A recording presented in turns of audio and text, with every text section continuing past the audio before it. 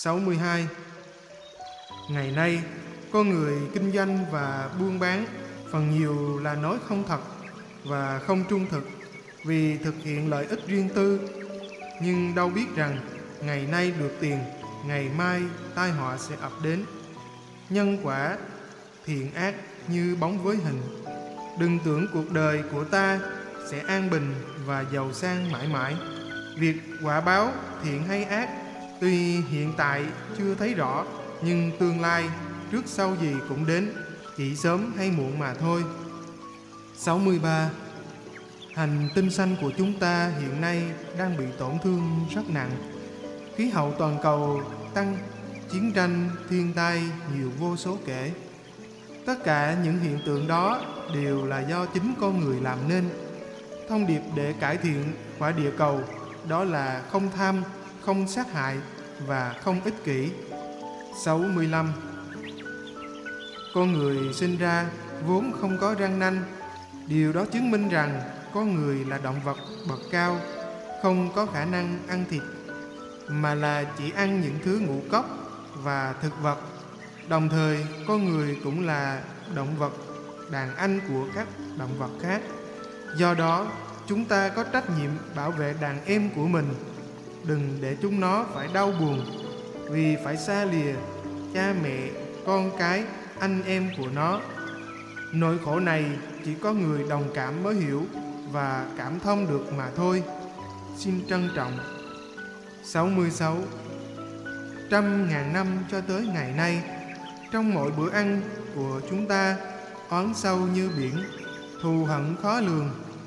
Ta ăn uống vui sướng no say trên sự đau khổ, kêu la của những chúng sinh khác. Chúng ta phải biết rằng mỗi sinh linh đều tham sống sợ chết. Ta nỡ nào đề đầu cắt cổ, nghe tiếng kêu la, cầu cứu thảm thiết của chúng nó sao? Bạn thử nghĩ xem, trong cuộc đời mấy mươi năm sống trên thế gian này, biết bao nhiêu sinh mạng đã chết để tạo nên những tế bào trên thân thể của chúng ta đây? Câu hỏi này xin để lại cho các bạn. 67. Con người biết vừa đủ và biết bằng lòng.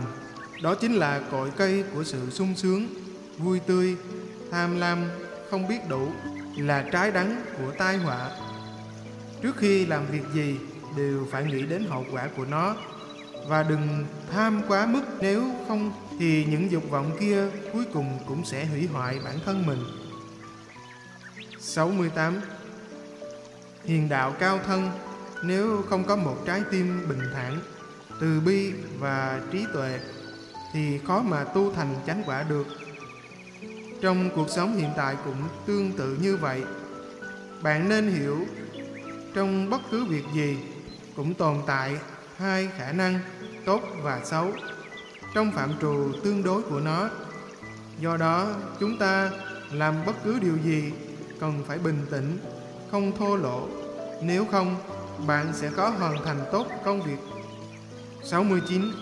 Nếu bạn muốn áp dụng bất cứ một phương pháp phát triển tâm linh nào, dù đó chỉ là một phương tiện để đạt được những giá trị lớn nhất từ cuộc sống tâm linh, thì sự chánh niệm hay chú tâm đóng vai trò quan trọng trong phương pháp ấy.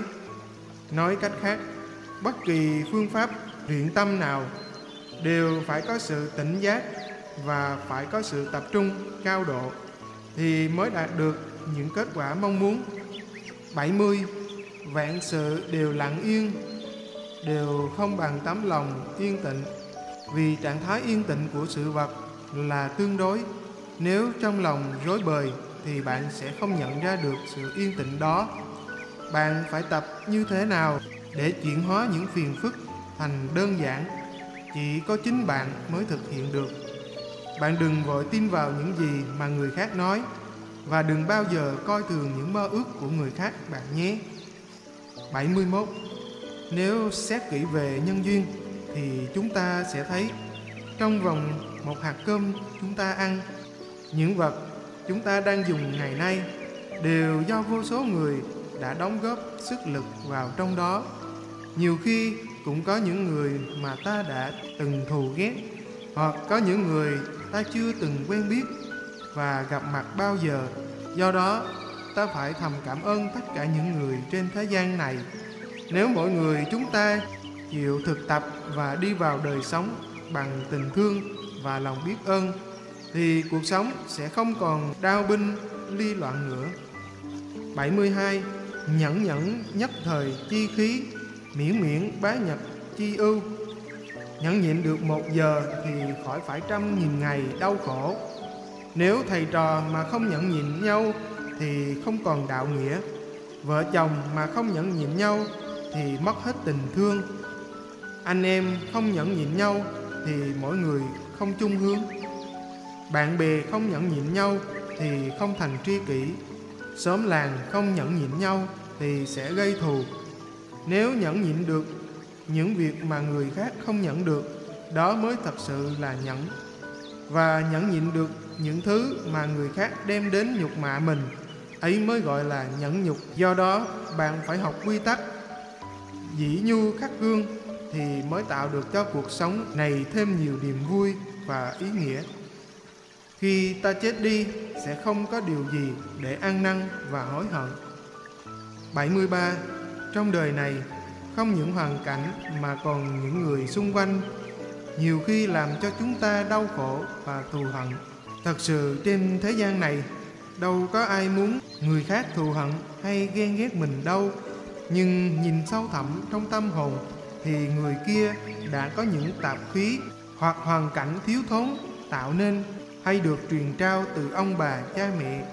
Những nỗi khổ tâm này, vì họ không đủ nhân duyên lành để chuyển hóa và chia sẻ cùng với ta.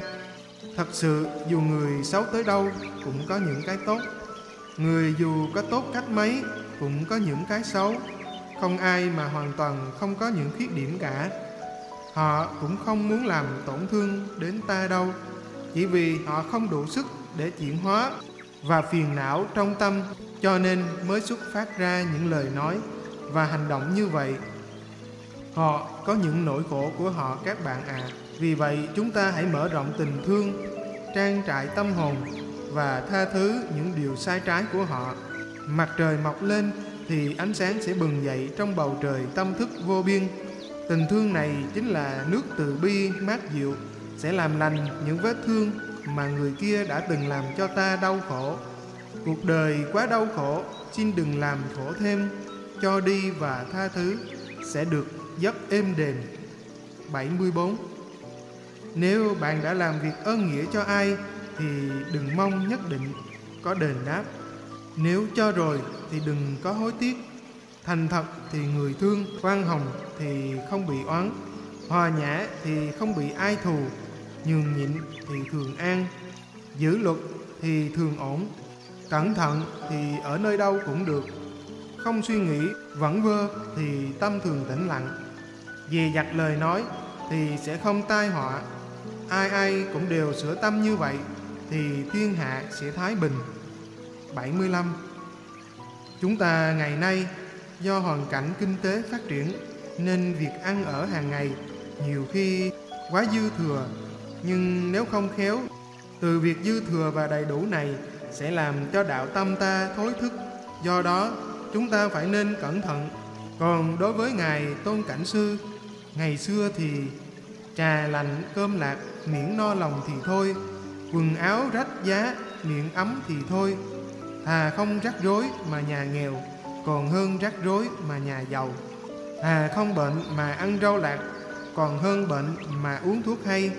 Vợ chồng không cần kiêu xa Chỉ cần hiền đức là tốt. Ăn uống không cần cao lương, No lòng là được. Lòng yên ổn thì ở nhà tranh vách lá. Cũng thấy hạnh phúc. Tập an định thì ăn rau ăn cỏ cũng thơm ngon. Bởi vậy cuộc đời muôn việc muốn thấu suốt Thì tâm phải bình, chí phải hòa vậy. 70. Cuộc đời vốn dĩ là tương đối không hoàn hảo ai viện mười phần hết cả. Tuy vậy chúng ta cũng phải buông bồi đạo hạnh tiến bước để tiến đến chân thiện mỹ. Trên đường đời không phải lúc nào cũng có người hướng dẫn đi kèm theo chúng ta. Trong nhiều tình huống bạn phải tự mình nhận ra. Nên đi theo hướng nào bạn phải là người hướng dẫn chính bạn. Bạn đừng nghĩ rằng chỉ có những vị thiên tài hoặc nhiều văn bằng chứng chỉ, chức vị đó mới là sự thành công của cuộc sống. Song song đó, vẫn còn có rất nhiều người xung quanh ta, họ làm những điều họ thích để lợi ích cho chúng sinh, xã hội. Họ lấy đó làm nên an lạc vui vẻ trong cuộc sống. Đây là một kiểu thành công rất đáng kinh ngạc. 77. Trong cuộc sống, nếu bạn có đủ tinh tế, sẽ không khó để phát hiện ra nhiều niềm vui và hạnh phúc. Nó tồn tại xung quanh và ẩn tàng đầy dẫy trong cuộc sống. Nhưng vẫn có nhiều người vẫn đau khổ triền miên, là chỉ vì không phát hiện được mà thôi. Đôi khi bạn đi tìm hạnh phúc ở xa xôi mà lãng quên hạnh phúc ngay trong ngôi nhà và ngay những người thân của chính bạn. Nếu được sự chia sẻ và thông cảm lẫn nhau thì cuộc sống bạn chắc chắn sẽ nhiều ý nghĩa hơn. 78. Không ai có quyền tước đoạt đi mạng sống của người khác và ngay cả chính mình. Tước đoạt mạng sống của người khác là bất nhân. Tước đoạt mạng sống của chính mình là bất hiếu. Người bất nhân và bất hiếu thì tiếng xấu sẽ để lại muôn đời vậy. 79. Trong gia đình, chồng lấn nước hay xem thường vợ, hoặc vợ lấn nước hay xem thường chồng. Cả thảy đều không có đạo nghĩa, mà còn ảnh hưởng xấu đến con cháu sau này. Cho nên cha mẹ con cháu, con cái, dâu rể, vợ chồng, anh em phải thương thân thương ái, tương kính tương trợ lẫn nhau. Nếu không thì gia đình của bạn sẽ trở thành địa ngục trần gian mà thiên hạ thường nói vậy. 80. Trong thời kỳ phát triển kinh tế như hiện nay, chúng ta có rất nhiều áp lực từ cuộc sống mang lại. Nào là bài vở, công việc, gia đình, gia thức, và cả, bệnh hoạn và sự chết chóc, đau thương, nên không có một tâm trí định tĩnh, sáng suốt thì những đau khổ sẽ đè nặng lên đôi vai của chính mình. Do vậy, các bạn phải nhớ thực hành những điều sau đây để giúp bạn được an vui hơn. Đó là Đừng quá chấp nhất vào những việc nhỏ rồi phóng đại nó lên mà hãy nên chuyện lớn hóa nhỏ, chuyện nhỏ hóa không. Tập kiểm soát từng suy nghĩ của mình và hãy làm thử một việc thiện nào đó cho người khác được vui ngay ngày hôm nay. Phải hiểu rằng mọi vật, mọi việc và mọi người tất cả đều là vô thường, đâu có gì mà trường tồn mãi mãi theo năm tháng được và còn nhiều người khác khổ nhọc đau khổ hơn ta gấp trăm ngàn lần nữa kìa bạn thử ngồi và nằm yên một mình, buông bỏ mọi việc và thả lỏng toàn thân, không suy nghĩ về quá khứ, vị lai, gì cả, và hít sâu theo dõi hơi thở từ 1 đến 10 vài phút sau, bạn sẽ thấy điều kỳ diệu xảy ra. Chỉ khi bạn đã thực hành rồi mới hiểu được giá trị của nó mà thôi. 81 Vạn biến như lôi, nhất tâm an tịnh. Nghĩa là, cho dù ngoại cảnh có ồn ào đến đâu, Tâm ta vẫn tĩnh lặng. Trong cuộc sống này, An nhàn và an tịnh đều nằm trong cảnh giới của chúng ta. Chỉ vì ta chưa chịu buông bỏ mà thôi. An nhàn và an tịnh không giống nhau. Rất nhiều người nhàn nhưng chưa chắc đã được niềm vui trong tịnh. Nhưng người đã có được cảm thụ niềm vui trong tịnh cũng không nhất định là được nhàn hạ trong muôn vàng công việc, trong thành phố đầy bụi bặm huyên náo, người xe cám dỗ đầy dẫy mà tất cả bạn vẫn không dính mắt, an nhàn, tự tại. Đó mới chính là an tịnh trong bận rộn. 82 có khi nào bạn ngồi yên, kiểm lại trong cuộc đời đã qua, bạn gặp phải đau khổ và niềm vui cái nào nhiều hơn không? Đa số người nói với tôi rằng đau khổ thì nhiều mà niềm vui thì ít bạn muốn tạo niềm vui không người xưa có câu cho người tức là cho mình thật vậy bí quyết để có niềm vui trong cuộc sống có ý nghĩa hơn đó là khi có nhiều hoặc ít tiền của bạn cũng nên chia sẻ cho những người khốn khổ hơn bạn. Bạn nên nhớ, của cho không bằng cách cho bạn nhé. Tập chuyển đổi quan niệm và cách nhìn lạc quan hơn. Việc gì mình không muốn thì đừng làm cho người khác. Đi xe nhường chỗ tốt, chờ đợi nhường người qua. Việc đến tùy duyên đến, an vui khắp ta bà. Làm việc đừng chấp trước, giúp đỡ kẻ gần xa, khoan dung và độ lượng, biết đủ người đời ca. Muốn làm việc gì, trước tiên phải nghĩ đến hậu quả của nó. 83. Người có tấm lòng rộng mở sẽ bình thản đối với những việc mang tính hẹp hòi, nhỏ nhen. Người hẹp hòi ích kỷ thì kể cả con vật cũng chẳng muốn gần. Người khoan dung tha thứ thì nhiều bạn gần xa. Khoan dung không phải là khiêm nhường mà là từ bi. Khi bạn khoan dung với người khác thì những chuyện thù hận ở trong lòng sẽ tiêu tan, hóa giải được hận thù, dù đó là mâu thuẫn nhiều năm. 84. Người quân tử thường kính trọng bậc đại nhân và thánh nhân, còn kẻ tiểu nhân thì ngược lại. Người quân tử làm tốt cho người, không làm xấu cho người, kẻ tiểu nhân thì trái lại. Người quân tử không oán trời, không trách người, chỉ trách chính mình, kẻ tiểu nhân thì không như vậy. Người quân tử lấy nhân nghĩa làm đầu, kẻ tiểu nhân thì tự kiêu và vua nịnh. 85. Một ngày trên thế giới này có mấy vạn cặp vợ chồng ly dị nhau.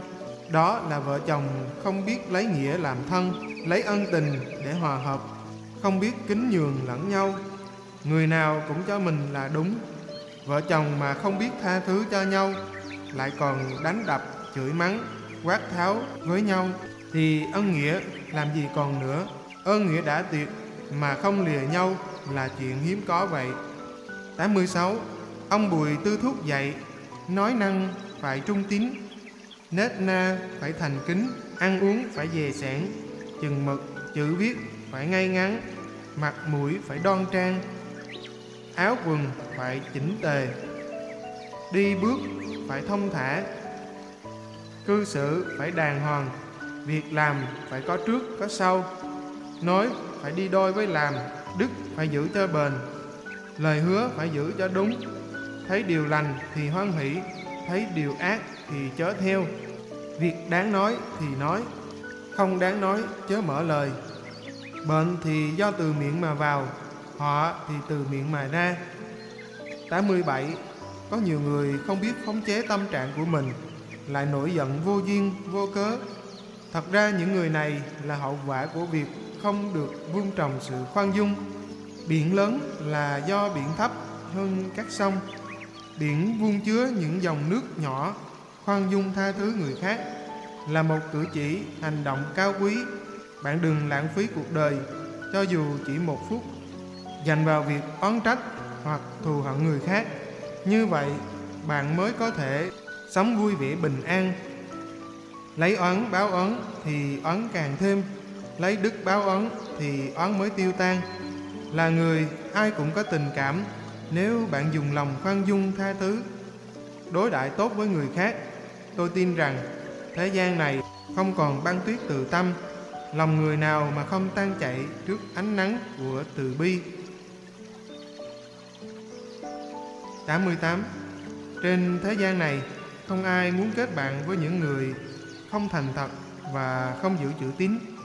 Làm người trước hết phải giữ chữ tín, là vốn để làm người, bạn không giữ chữ tín thì cũng chẳng có người nào tin bạn. Khi ấy, sự tồn tại và lời nói của bạn chẳng đáng kể, tuy rằng lời nói dối tạm thời đem lại sự lợi ích cho con người, nhưng đừng lạm dụng và nó sẽ không bền trước thời gian, bởi vì thời gian chỉ làm khỏe mạnh cho những gốc rễ chân thật mà thôi. 89. Những ai trên cuộc đời này mà không thường mơ tưởng đến một ngày tất cả mọi việc đều như ý muốn của mình và hoàn toàn là đi trên gấm lụa mà không cần làm việc. Cứ mãi van xin, đó là thuộc hạng người không tưởng, lười biếng và ngu xuẩn nếu không hề có dông bão của cuộc đời. Lười biếng và ngu xuẩn nếu không hề có dông bão của cuộc đời và không hề có những mảng sáng trong cuộc sống đó là một cuộc đời vô nghĩa. Khó khăn giúp ta kiên cường hơn. Những người yêu đời xem khó khăn là một cơ hội để rèn giũa bản thân, chiến đấu vượt qua để sống tốt hơn. Cái nghèo nàn của vật chất không phải là cái nghèo nàn đích thực. Cái nghèo nàn đích thực đó chính là cái nghèo nàn trong tinh thần và ý chí vậy. 90 thân phận của con người không phải là một cái gì bất toàn và ghê tởm, mà là một báu vật đáng trân quý. Đừng phí phạm một kiếp người để phải than vãn, bi thương, đau buồn, hối tiếc trước những việc làm của mình. Gần lúc lâm chung, tuy nhiên trong cuộc sống, ai cũng có hơn một lần sai phạm. Nhưng cũng không vì thế mà bi quan, cuộc đời vốn dĩ không có cái gì trường tồn mãi mãi cả cả địa vị, chức sách danh vọng đã biết là thế, nhưng ta cũng có thể làm cho những đóa hoa đời cười khoe sắc giữa thế gian. Tiếng suối nhạc reo vui trong cả không gian trần thế. Khi ta mới chào đời, mọi người xung quanh đều cười, chỉ có riêng ta là khóc. Nhưng bạn phải sống như thế nào để đến ngày ra đi? Mọi người đều khóc, chỉ có riêng bạn mỉm cười bạn nhé. 91 cuộc đời của chúng ta là một chuỗi ngày dài học hỏi vô tận. Người sống mà không học hỏi thì mờ tối, như đi đêm. Chớ nói ngày nay không học thì còn có ngày mai, năm nay không học thì còn có năm tới. Ngày tháng vượt qua mau, mạng người không chờ đợi người có học thì sẽ dễ dàng hơn và hiểu đạo lý. Châu ngọc mà chẳng mài dũa thì chẳng thành của quý được. Một người không chịu rèn luyện học hỏi thì người đời sẽ không xem trọng. Người sáng suốt mà chăm học thì không lấy việc học của kẻ yếu hơn mình làm xấu hổ. Không lên núi thẳm thì không biết trời cao, chẳng tới hố sâu thì khó biết được đất dày người không chịu học đạo lý thì làm sao trở thành hiền nhân được?